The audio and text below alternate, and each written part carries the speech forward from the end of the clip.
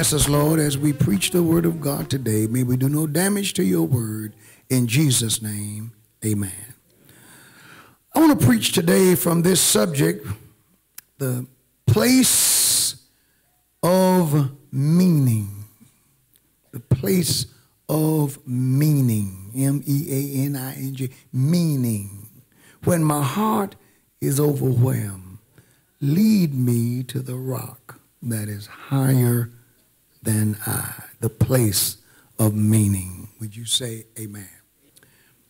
Last time, this past Thursday night, and I didn't know that the Lord would give me at the time um, two messages with similar topics and even from the same book. To be honest with you, saints, unless the Lord have, has me in a series, I don't know what I'm going to preach. I turn to him and I ask him. And I've had this relationship with the Lord uh, for so long that I know when I have heard his voice. And then he, because because you see, he knows what you need. I don't. Amen. Amen. I'm, I'm fascinated by pastors who can plan out their sermons a year in advance. I'm like, man, uh, you know, God just didn't give it to me that way. He gives it to me sometimes a day in advance. Amen. But however, it's the Lord. And uh, this past Thursday night, we preached from Psalms 133, and the subject was the place of blessings. The third verse of Psalms 133 in the B clause, the Bible says, For there the Lord commanded the blessing, even life forevermore. The blessing of which the psalmist uh, spoke of or speaks of is benediction. That blessing is favor, it is benefit, it is happiness. The Hebrew word is barakah. And the place of blessing, we're told, in verse 1 of Psalms 133, that place is, it's not a physical destination, it's when the saints are unified. Oneness in the believer is where God commanded the blessing. Amen. Behold how good and how pleasant it is for brethren, the Bible says, to dwell together in unity brethren, a particular group, to dwell together and to learn not just to get unified uh, once, but to learn how to live there, consistently being with one accord. When we reach a place of unity, and this is transferable, it's true in a marriage, it's true in a business, it's true in an office, it's true uh, on a team. When, when you get unified, when, when you're thinking together. One of the, one of the greatest uh, challenges of marriage is uh, harmony. You got two people who are different. You have to learn to think alike. You won't, you won't share the same thoughts all the time, but the norm ought to be agreement, not disagreement. If you're disagreeing all the time, you're in trouble. This is one of the reasons why when you date, you should date. Uh, this I said this is one of the reasons. You should date, not the only reason, you, but one of the reasons you should date fornication free.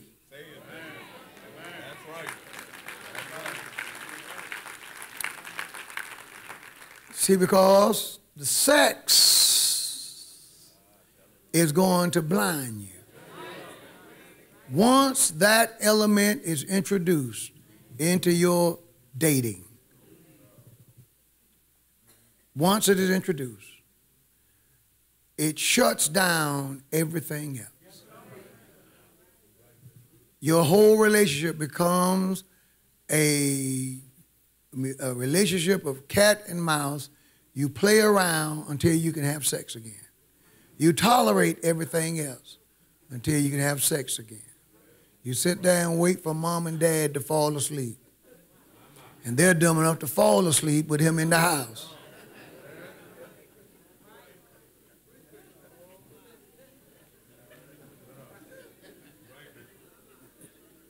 Kristen and John was dating when I got sleepy. It was time for him to leave. Well, I'm tired now. I'm going to bed. That's the cue.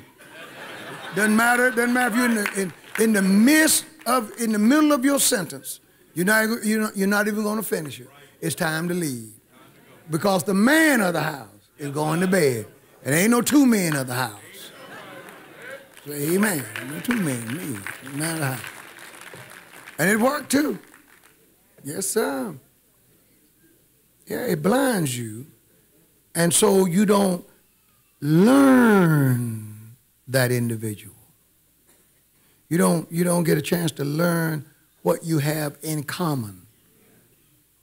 Your areas of agreement or disagreement, likes or dislikes. And but but it's, it's amazing how sex don't have the power to blind all that though to hide all that after you get married. After you get married, all those things kill the sex. Don't touch me. It's amazing how it reverses. You young couples who are dating and you're on your way to the altar, Take what I'm saying and live by it, and it will bless you. Some of the older couples who didn't listen, they'll tell you. If they ever get a chance to talk to you privately, uh, he's a preacher. He, I can't tell you why, but what he's telling you is so. I, I don't want to go into any details, but what the man of God said, listen to him because it's a different story than you sitting there looking at that man, uh, or he's looking at that woman and saying, well, who is this I married?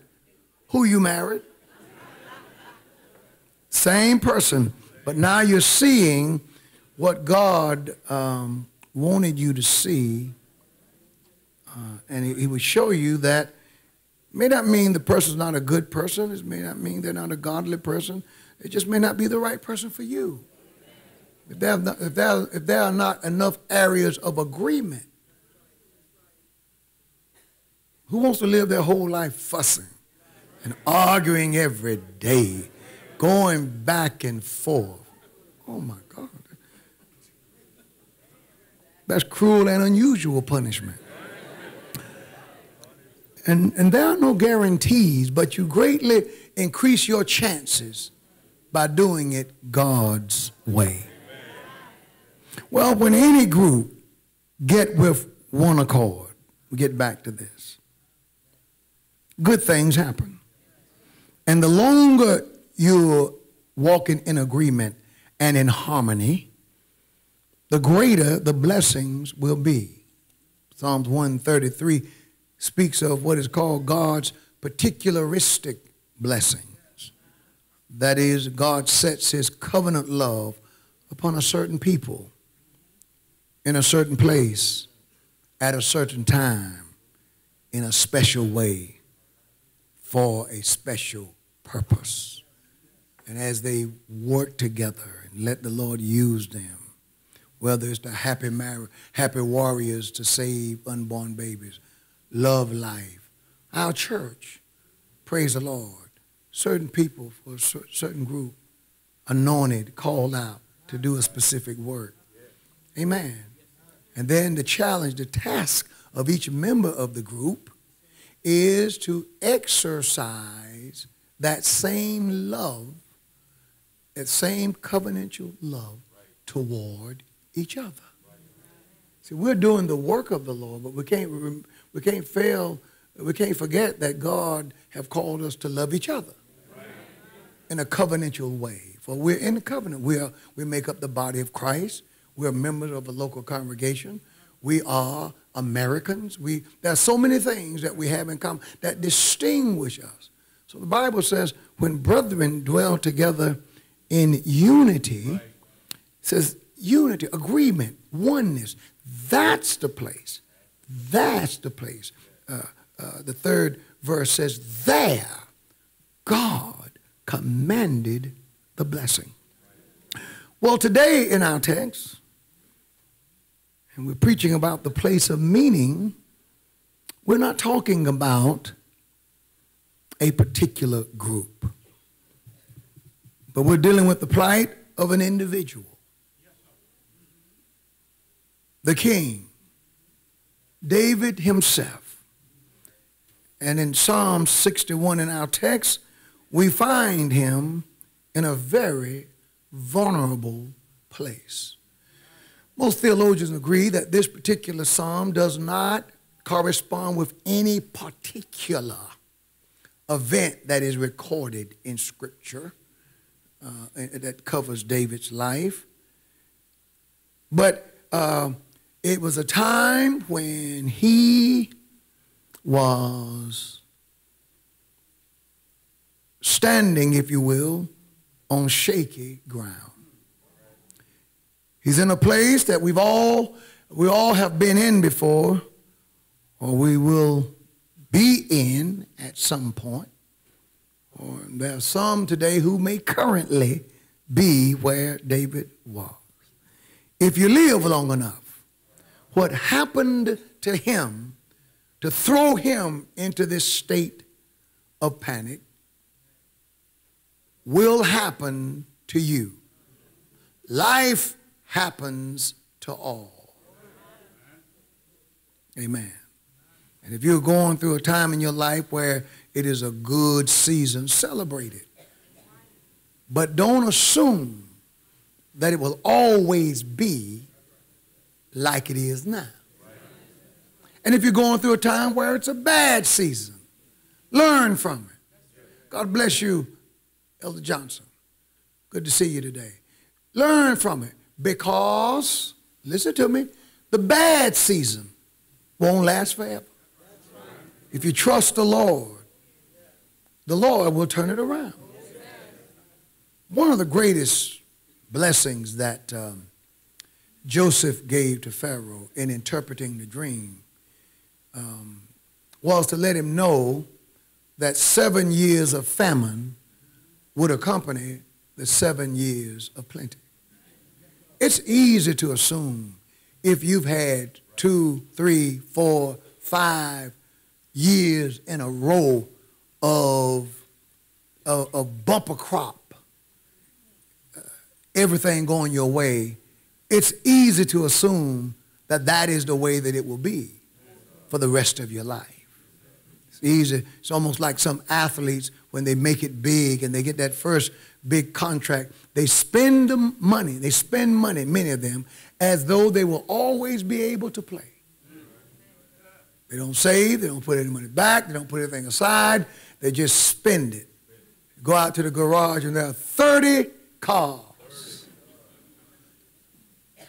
And you still can't drive but one at a time.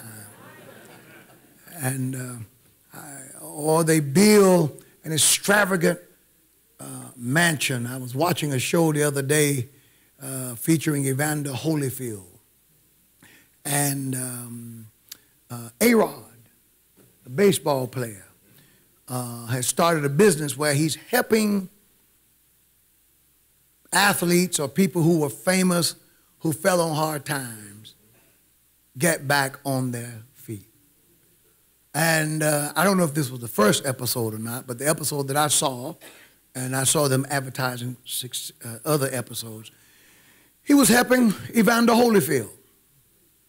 And Holyfield took him to the place where he was living at the time of the filming. I don't know if he lives there now or not. I don't know. And it's a resident, uh, uh, uh, you know, um, I mean, it was, it was taped this year, so. And when they walked into Holyfield's apartment, A-Rod said, this is a nice place. Holyfield says, but not if you realize where I came from. And they showed pictures of, of that mansion that he built, that huge house. a sprawling campus, compared now to what appeared to be a little two room studio apartment. He couldn't see when he built that house in those years of plenty. Hey man, you might you might want to prepare. See, because this is not the way it may always be. Are you, are you following me? Joseph said, You're going to have seven years of plenty, but after the seven years of plenty, there are coming seven years of famine. So he said, Prepare. Prepare. If you're going through a good season in your life, celebrate it. But you're always prepared. If you're going through a bad season in your life, endure it with hope, knowing that uh, a change will come. David was in a vulnerable place. And in that vulnerable place, his search, according to Psalms 61, was a search for meaning. Everybody say meaning. Meaning. His heart was overwhelmed. He was looking for meaning. The Bible says in Proverbs 4 and verse 7 with all thy getting, get an understanding. Word understanding literally means get, get the meaning of this. It's not just this, this thing that you're contending with, but what does it mean? Um, the intent. Lord, why this? What is the purpose of this thing? Uh, understanding is insight. In the adult world, the why of a thing many times is more important than the what. What it is in our world is not as important as why it is. The what was that the man was born blind. The why was that he might bring glory, that the Lord would use his state of blindness to heal him to bring glory to the God of the Bible. There is the what and there is the why. The, the, the joy of the world of children is that they don't have to know the why of a thing. They eat whatever they want. They eat for taste. When you get grown, man, you that, that changes, doesn't it? Oh, Lord. There's a whole lot of things you want to put in you. But all kinds of things come to mind. Diabetes, high blood pressure, low blood pressure, all kinds of things come to mind. Uh, weight, praise the Lord. You name it, Boy, it's bad, isn't it? You want to have seconds and thirds, but lifespan starts to kick in. And then not, not to mention, not to mention what happens in the mirror. It's just like, you know, you, you, you get a certain age and your metabolism just quit. I mean, just the other day I went looking for mine. I, man, I was searching high, and Lord, I found, I said, come on back here. Go back to work. And it's working, but it ain't working right. Someone else's metabolism have quit. I'm not the only one. Pastor, I'm not in here by myself. Praise the Lord. These, things happen. And so all of these things in the adult world comes to mind. Don't be an adult and not seek understanding. Adults who do not go beyond what is apparent and go beyond the veil and, and get an understanding and get the deeper meaning and, and try to find out whether or not this is of God or of the devil and all that. Adults who fail to do those things are adults who fall to the trick of the devil. There are adults who end up messing their lives up. Satan brings all kinds of presentations your way. You got to ask, what is this? Amen. Got to ask God to give you understanding. If you will, I want to move along a little quicker. It's, now it's getting warm in here. Brother, I guess the, the, the, the temperature people are going to be like yo-yos today. See, because if they get too hot, Wilson, they're going to fall asleep on. They're going to say, brother preacher, I'm with you, but I'll, I'll catch you the next time. Hmm. I see you. First Corinthians 14 and verse 20 says, Brethren, be not children in understanding. Howbeit, in malice be ye children, but in understanding be men. In understanding, in learning the meaning of things, in getting insight, be mature. Can't live like a child when it comes down to understanding the why of a thing. He says, you can be, uh, be not children in understanding. Uh, quickly, Ephesians chapter uh, number 1 and verse Uh, 18 says, the eyes of your understanding being enlightened, that you may know what is the hope of his calling and what is the riches of the glory of his inheritance in the saints. Look at this. You see it? The eyes of your understanding being enlightened. In that same book and in the uh, fifth chapter and the 17th verse says, Wherefore be ye not unwise, look at this, but understanding what the will of the Lord is. Oh my, understanding. Everybody say understanding. Second Timothy, the second uh, chapter and the, uh, the seventh verse says, Consider what I say, and the Lord will give thee understanding in all things. David needed to understand what was going on. Our text is about, as I aforementioned, David as king, and we have the king praying for himself.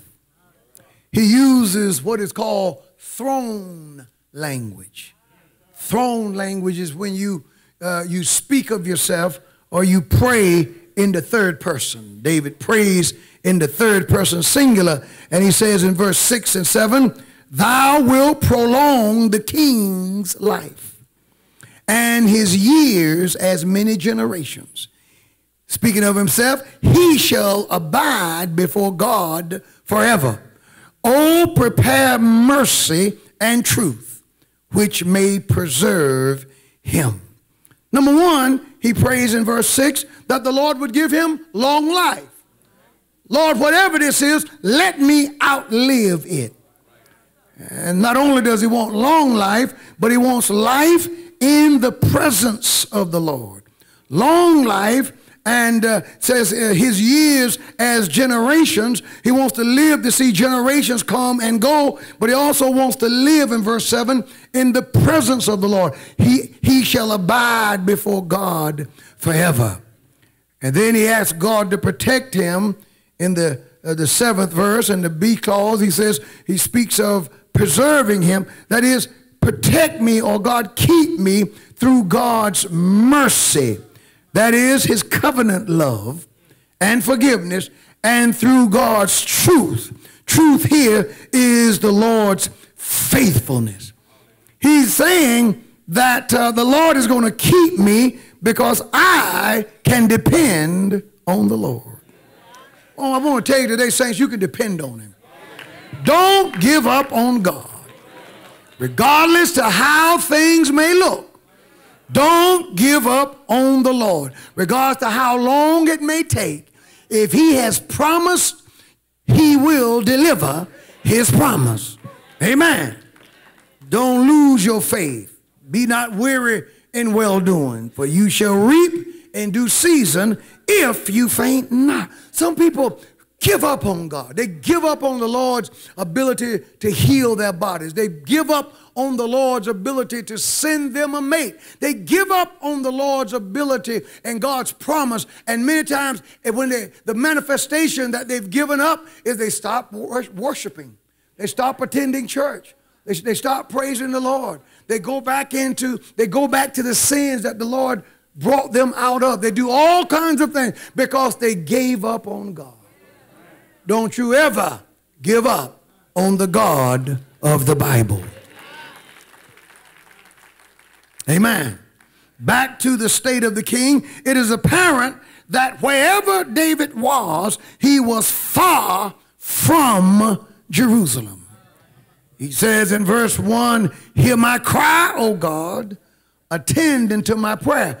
And he says this, From the ends of the earth will I cry unto thee. From the ends of the earth will I cry unto thee. There's a little spiritual geography here, but the, the, he was not in the presence of God. He was not in Jerusalem where the tabernacle was. He was not in the near the tabernacle where God was said to dwell. Amen. Have you ever been in a situation where when you prayed, you felt like your prayers were long distance? You're praying, but you don't sense that you're in the presence of God and you're trying to get through. This is where he was. We don't know where he, he were, where he was physically, but he was not in Jerusalem. And he cries out and says, God, from the ends of the earth, I'm calling on you. I'm in a vulnerable place. Glory to God. I'm calling on you. And we learn his condition in verse 2. He's praying to God with a overwhelmed heart. Overwhelmed. That is, to be overwhelmed is to be to become feeble. To be overwhelmed is to become faint, to be weak. It is to become weary and worn out in spirit. Whatever was going on, it was clear that it was had gotten the better of him. There is a sense of urgency in David's cry because he was overwhelmed by what was happening. And look at this, and he was fainting under the pressure of that thing. Be careful how you talk to people and deal with people and, and how you assess people when they faint under pressure. Especially if it is a pressure that you've never been under. Praise the Lord. If you haven't been under pressure, you don't know what pressure can do. Pressure can discombobulate you if you let it. You don't hear what I'm saying. Pressure uh, interrupts your, your thinking. You, you can't put two and two together. Two and two comes out to be eight or nine when you're under pressure. Sometimes pressure can cause your whole attitude and disposition to change. I know that when we're going through, we're supposed to behave a certain way. And I understand that the, that the faith teachers teach that if you just walk by faith, you won't ever get overwhelmed. Well, they all say that until they get enough pressure. Everybody. There is something out there that can make any of us uneasy, no matter how strong you may be in the Lord. Because at the end of the day, we're all human.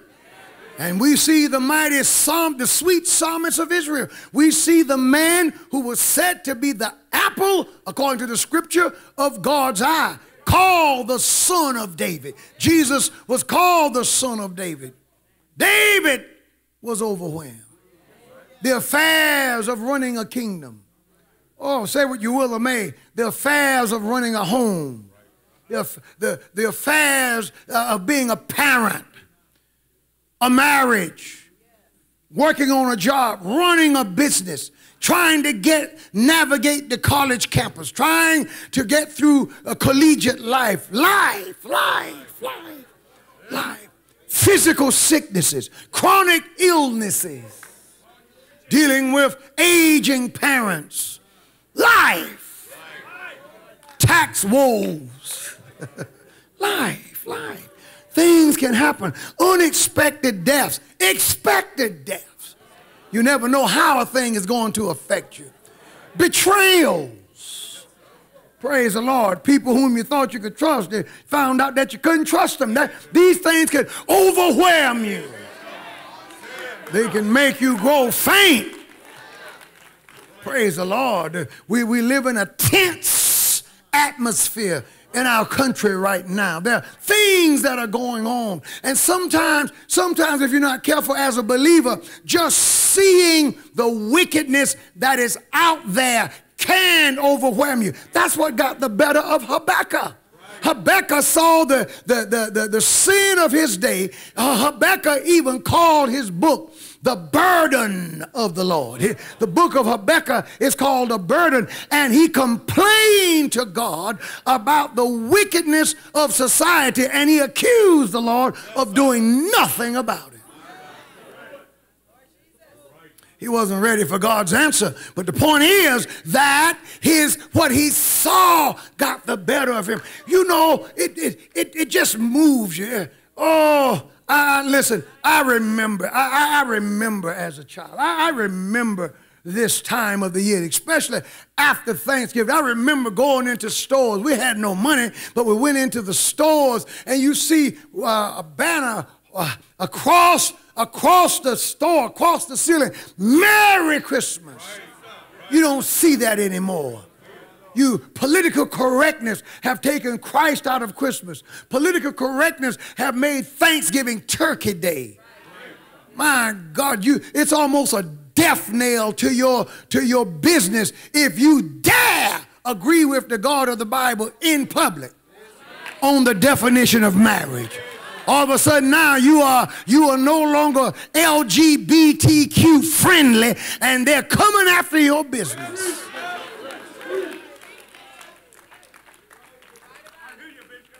Now, the main thing that I like about Chick fil A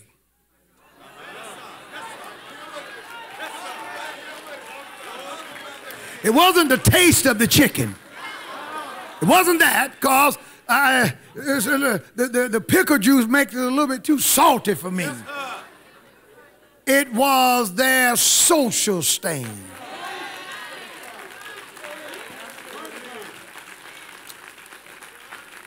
Now, all of a sudden, look at the good that the Salvation Army does. Look at the good that some of these other uh, charity groups do and, and the people they bless. And because some punk have this decided uh, oh, uh, that they are not LGBTQ friendly that they would challenge them. You know, Mr. Cathy died, the man that started the country. See, some of these children, some of these children, they don't carry on. These uh, trust fund babies. Born in it, didn't build it. And uh, now forsaking what made it great. So now because some wicked person decides that they're not LGBTQ friendly, they're going to come against them. And that now they cave to that pressure. Now, let me tell you what bothers me about that, and I'm going to get back to David. I'm not, I'm not upset uh, with, with Chick-fil-A. What bothers me is the way the Christians will respond to what Chick fil A did. You'll be in line Monday to get that chicken sandwich. See, because let me tell you something. If we ever use our strength in the marketplace, see, the, the, the, the, what, what businesses since America claims to be 80% Christian, what businesses should be afraid of is to be called uh, unchristian or not Christian friendly. Because if you're not Christian friendly, the Christians will take their business somewhere else.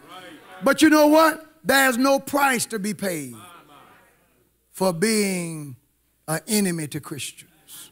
Because Christians won't stand up. Christians won't fight. Christians cave like a cheap tent all the time. No matter what the world throws at us, we still support them. But they have learned that the way you control people is that you do these things. And our response is, well, we're just going to pray for them. Mm-hmm. And there you go right back in line. But if we ever, if we ever decide, I've said it for years, if we, it, it, it won't take but one Christmas, just one, just one, for, for, if the Christians would just say, you know what, you know what, you know what, as Christians, we don't celebrate the holidays. We celebrate the birth of Christ. And if you're not going to celebrate the birth of Christ, no problem. We, we, we're not going to we're not going to bur burglarize your business. We're not going to stage a, we're not going to get out there and march. We're not going to break any glass. We're not going to steal anything. We're just not going to. We're just not going to show up. We're just not going to uh, shop that. We're just not going to do it. We're going to take our money. You know what we're going to do? We're going to take our money and keep it. We'll, we'll, be, we'll be better off December the 26th anyway. Anyway, got more money. Got more money. Do this one time.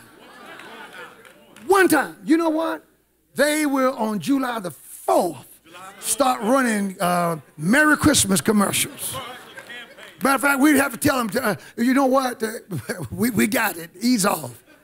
But because we do not fight, we are living in a society that is so wicked that now they used to you would wait till late at night. You had to be up at 3 a.m. in the morning. Now prime time they show sitcoms and commercials featuring same-sex couples, men kissing men, women with women.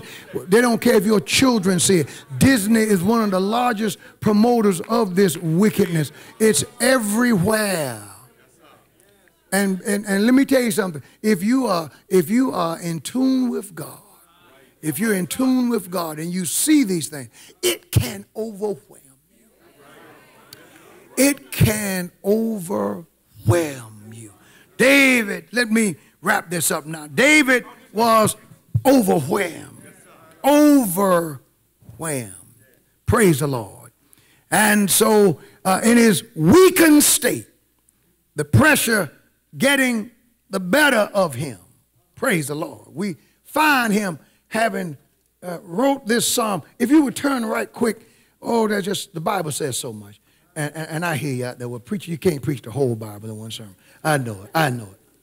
But I sure do try. Psalms 142 says, David says, I cried unto the Lord with my voice. And with my voice unto the Lord, I did make my supplication. I prayed my specific prayer. I poured out my complaint before him.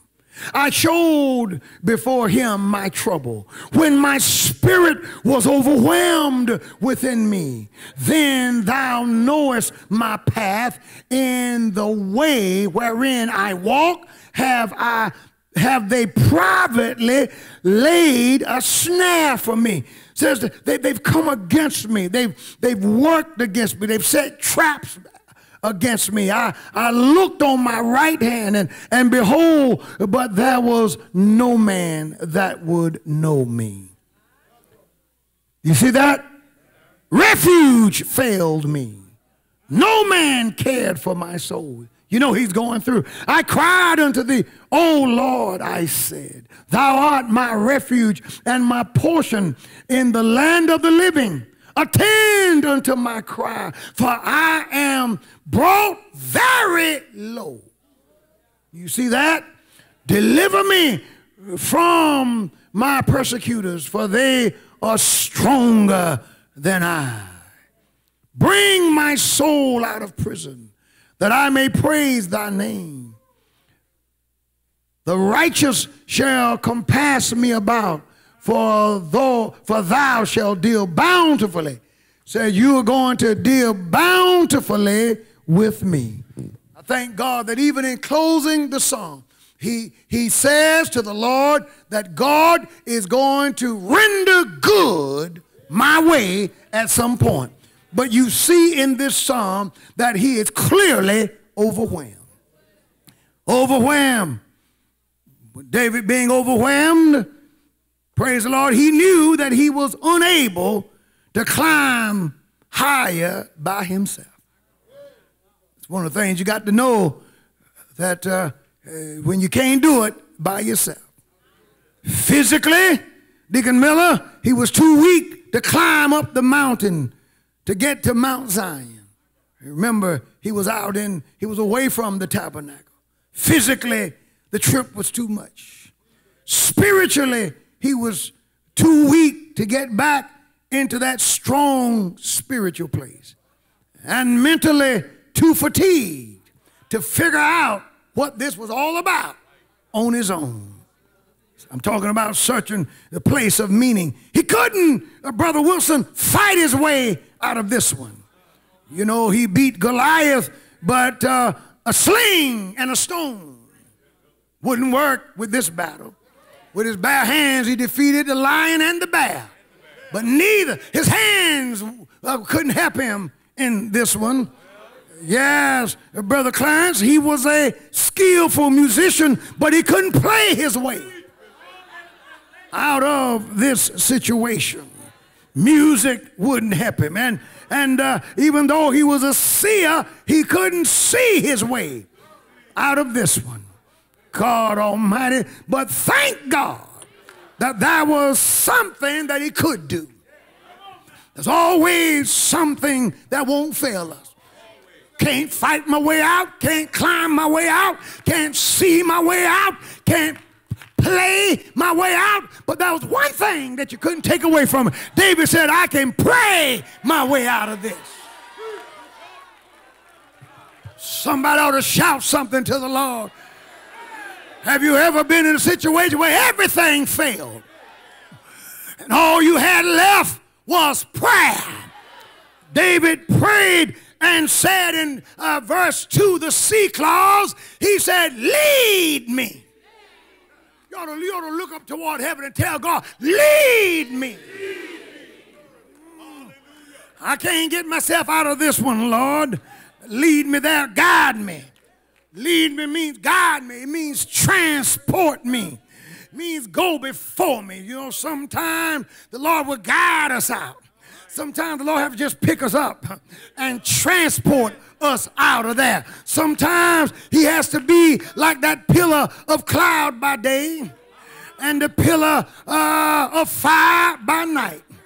Exodus 13 and 21 says, And the Lord went before them by day in a pillar of cloud and led them uh, the way, and by night a pillar of fire and gave them light to go day by day, to go by go day by day and night, to continue on in the work of the Lord. The Lord told me to tell you to pray today, lead me. Somebody's got a heavy burden on their heart. Somebody's child have gone astray. Someone's husband is acting the fool. Somebody's money is funny and the change is strange. Somebody's going through some things in their minds. Some of you, praise the Lord, have fallen. But I want you to know today that God is able to lead you out. The question is, uh, lead me, but then I heard him, somebody asked the question, lead me where? and lead me to whom? Where, where, where can I go to find answers? Where can I go to find a solution? Well, let me tell you where you can't go. You can't go to the Book of Mormon. You can't go to the Quran. You can't go to yoga. You, you, you can't go to the ABC store. Good God Almighty, you can't go, oh Lord, to the crack house.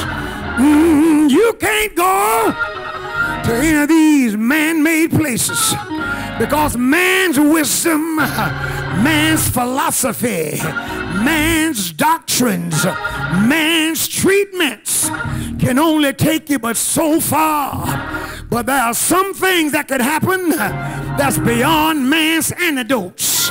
That's beyond human solutions. There are some things that only God can handle. Oh Lord, have you ever had a God problem? A problem that was too big, too big for your mother problem that was too big, too big for your father. Woo, Lord, too big. Your friends didn't understand. A voice in your head that wouldn't stop talking, saying, kill yourself, kill yourself, kill yourself. You need, you need something stronger than a handshake. You need something stronger than somebody telling you that it's going to be all right. Oh, Lord, there have been men standing looking in the mirror. The mirror shows them the reflection of their whole, whole anatomy. Everything they see is a man in the mirror, but there's a voice in their head that's saying, You're a woman. You're a woman. You're a woman. Oh, you need somebody. You need something stronger than the man made remedy. Hey, Lord. Hey, have you ever uh, been down? Everything is going well, but you're still unhappy. Everything is working out right, but there's still a low. There's a weight. There's a, there's a depression in your life. You need, you need God to help you. You read self-help books. You read Zig Ziglar. You read this one and that one. You've, you've used the sports metaphors and all that other stuff. You said when the going gets tough, the tough get going. But none of that stuff worked because the load is so heavy. I'm glad that when life load gets too heavy, I'm glad when man-made antidotes uh, seem to fail, there is a place uh, that you can turn uh, who will never let you down. There is someone who is able to bring you out. You just got to keep on praying and you just got to wait on him. I heard the songwriter say, where do I go? Oh Lord, how do I go when there's no foundation stable? Who do I talk to when no one seems to listen? Who do I lean on in the time of tribulation? He said, I go to the rock, the rock of my salvation. I turn to the stone that the builders rejected. Oh, I turned to the mountain and I say, mountain, cleft for me. When the world all around me is sinking sand on Christ, the solid rock I stand. When I need a shelter, when I need a friend,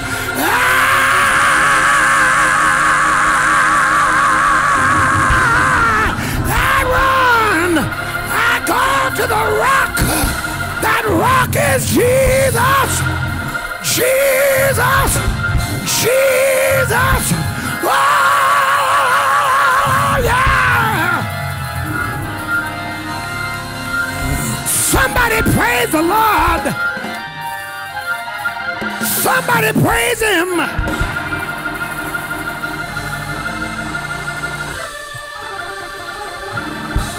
He said, he said, lead me to the rock that is higher than I, The rock that is higher than I is God himself. In other words, David was saying, somebody's coming to the altar today.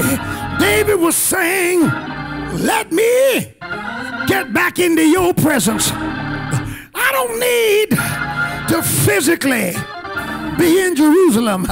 I just need to get in your presence. If I get in your presence, everything will be all right. In your presence, I can find meaning.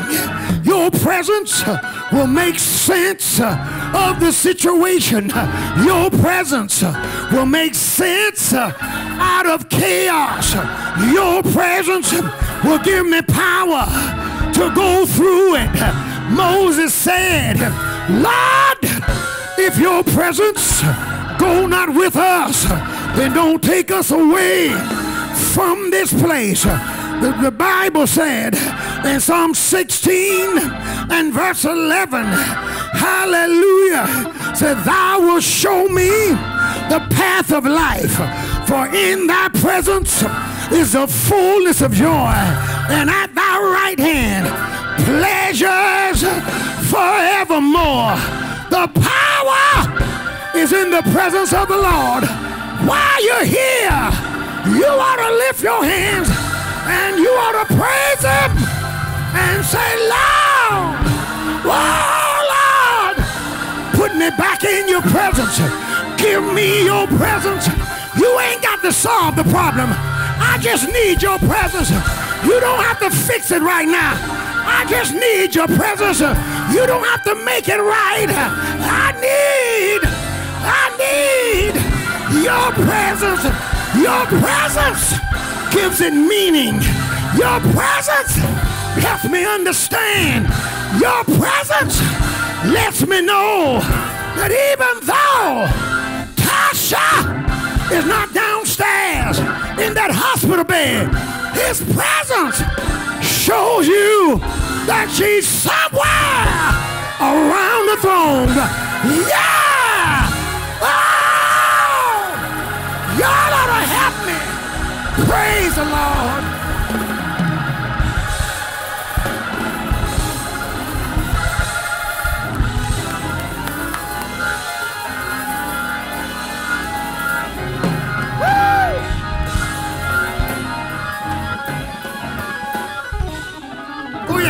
And say, I can make it now. I can make it now. I'm in this presence. And, and let me tell what David said. And I'm going to watch this. We're going home. I got to go do granddaddy duty. David, David said, David said this. David said, I, I know it'll work.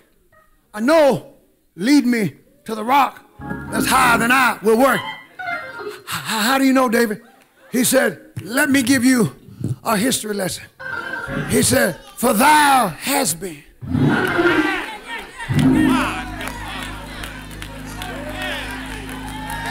You ought to look back and just see what the Lord has been. Oh! Oh, when I look back over my life, He's been there every time. He's seen me through. He picked me up. He said, You've been a shelter for me and a strong tower from the enemy. That is, you've been my source of strength. Then I heard him give his declaration of faith to the Lord. Since you've been my source of strength in times past, he says, I will. I don't blame him. I will abide in thy tabernacle forever. I will trust in the covert of thy wings. When talk about God's wings, wings is God's protection. He says, I will trust in your ability to protect me based on what you've done, Ebenezer, based on what you've done in my life up until now. Hallelujah. And then he says something. You, you won't shout, but you to. Hallelujah. I, I, I, sat back in my chair when I was doing my preparation yesterday. When I saw this, I, I just sat back and threw my hands up. Praise Lord. I, woo! he says in, in verse uh, 5, he says, For thou, O God, hast heard my vows. Thou hast given me the heritage of those that fear me. When the Lord talks to you about a heritage, you know what God is telling you?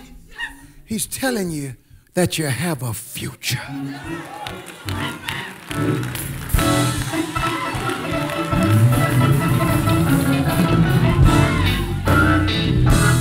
He's telling you, he's telling you that this ain't it.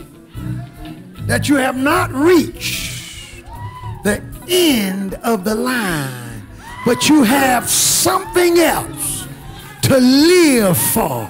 Right here, I want you to praise the Lord like you have something else to live for. I have a future